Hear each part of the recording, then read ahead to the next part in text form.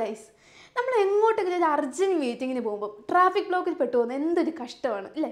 ഇതുപോലെ ഏതെങ്കിലുമൊക്കെ ഒരു ട്രാഫിക് ബ്ലോക്കിൽ പെട്ട് ഏതെങ്കിലും ഒരു ഇമ്പോർട്ടന്റ് എക്സാമിനോ മീറ്റിങ്ങിനോ ഒക്കെ ലേറ്റായി പോയ കഥ നിങ്ങൾക്ക് പലർക്കും ഉണ്ടാകും. സപ്പോസ് നമ്മളൊരു കമ്പനിയിൽ വർക്ക് ചെയ്യുകയാണ്. അന്നൊരു പത്ത് മണിക്ക് ഷാർപ്പ് ടെൻ ഓ ക്ലോക്കിനുള്ള ഒരു മീറ്റിങ്ങിന് പോകുമ്പോൾ ഒരു കാലത്തും ഇല്ലാത്തൊരു ട്രാഫിക് ബ്ലോക്ക് വരിക. അതിൽ പെട്ടു ഒരു പതിനഞ്ച് മിനിറ്റ് ആയി. പത്തേ കാലിൽ ചെന്ന് കയറുമ്പോൾ സിഇഒ എന്തായിരിക്കും ചോദിക്കുക? ഫസ്റ്റ് തന്നെ ഗെറ്റ് ഔട്ട് അടിക്കാൻ ചാൻസ് ഉണ്ട്. പിന്നെ നമ്മൾ എക്സ്ക്യൂസ് ഒക്കെ ചോദിച്ച് എന്തുകൊണ്ടാണ് റീസൺ ചോദിക്കും നമ്മൾ പറയും സാറേ സോറി സാറേ അത് ട്രാഫിക് ബ്ലോക്കിൽ പെട്ടു ഐ എം സോറി എന്ന് പറയുമ്പം അദ്ദേഹം അതിനെ ഏത് രീതിക്കായിരിക്കും മനസ്സിലാക്കുക? സ്വാഭാവികമായിട്ട് ഒരു കമ്പനിയുടെ സിഇഒ പൊസിഷനിൽ ഇരിക്കുന്ന വ്യക്തി നിങ്ങൾക്ക് തീരെ ഉത്തരവാദിത്തം ഇല്ലാത്തതുകൊണ്ടാണ് എന്നാൽ പിന്നെ രാവിലെ കുറച്ച് നേരത്തെ തെളിച്ച് പോന്നാൽ പോലെ എന്നൊക്കെ ചോദിച്ച് നമ്മുടെ ഒരു ഇറസ്പോൺസിബിലിറ്റിയിലേക്കായിരിക്കും നമ്മൾ ആ ലേറ്റായി വന്നതിന് ആട്രിബ്യൂട്ട് ചെയ്യുക. ആ ഒരു ട്രാഫിക് ബ്ലോക്ക് എന്ന് പറഞ്ഞ സംഭവം അദ്ദേഹം കേട്ടിട്ടേ പോലും ഉണ്ടാവത്തില്ലായിരിക്കും. അപ്പം ഇതുപോലെ മറ്റ് മറ്റുള്ളവരുടെ ബിഹേവിയറിനെ അല്ലെങ്കിൽ മറ്റുള്ളവരുടെ ആക്ഷൻസിനെ സിറ്റുവേഷണൽ കോസസിനെ തീർത്തും ഇഗ്നോർ ചെയ്തുകൊണ്ട് അവരുടെ പേഴ്സണാലിറ്റി ട്രേറ്റ്സിലേക്ക് ആട്രിബ്യൂട്ട് ചെയ്യുന്നതിനെയാണ് ഫണ്ടമെന്റൽ ആട്രിബ്യൂഷൻ ഇറർ എന്ന് പറയുന്നത്. അപ്പം ഈ ഒരു സംഭവം ആദ്യമായിട്ട് കൊണ്ടുവന്നത് ലീ റോസ് എന്ന് പറയുന്ന ഒരു സൈക്കോളജിസ്റ്റാണ് അവർ ഒരു നയന്റീൻ സിക്സ്റ്റി സെവനിൽ ജോൺസ് ആൻഡ് ഹാരിസ് ചെയ്ത ഒരു എക്സ്പെരിമെന്റിന്റെ ബേസിസിലാണ് ഈ ഒരു ഫണ്ടമെന്റൽ ആട്രിബ്യൂഷൻ ഇർ എന്ന് പറയുന്ന സംഭവം ആദ്യമായിട്ട് കൊണ്ടുവരുന്നത്.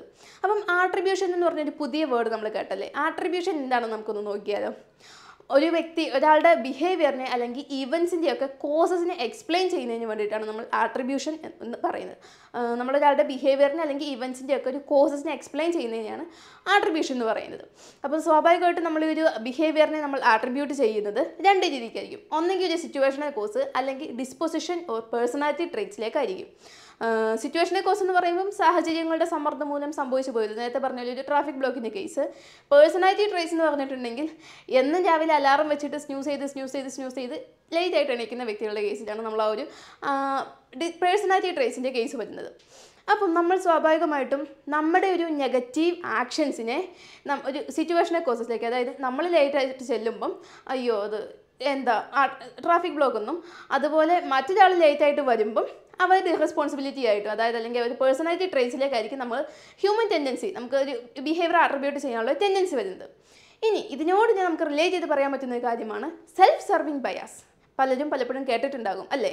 ആ ഒരു വേർഡ് മീനിങ് പോലെ തന്നെ സെൽഫ് സർവിങ് അല്ലെങ്കിൽ നമ്മളെ സെർവ് ചെയ്യുന്ന നമുക്ക് ഫേവറബിൾ ആയിട്ടുള്ള രീതിക്ക് നമ്മൾ ആട്രിബ്യൂട്ട് ചെയ്യുകയാണ്. നമ്മൾ എപ്പോഴും എക്സാം റിസൾട്ട് വരുമ്പം പലപ്പോഴും നമ്മൾ ഡെയിലി ലൈഫ് ചെയ്തിട്ടുള്ളൊരു കാര്യമാണ്. അതായത് എക്സാമിന്റെ റിസൾട്ട് വരുമ്പോൾ എക്സാം പാസ്സാകുവാണെങ്കിൽ പറയും ഞാൻ നല്ല രീതിക്ക് പഠിച്ചിട്ടാണ് എന്റെ ഹാർഡ് വർക്ക് കൊണ്ടാണ് ഞാൻ നല്ല ജീനിയസ് ഇന്റലിജന്റ് എന്നൊക്കെ പറയും.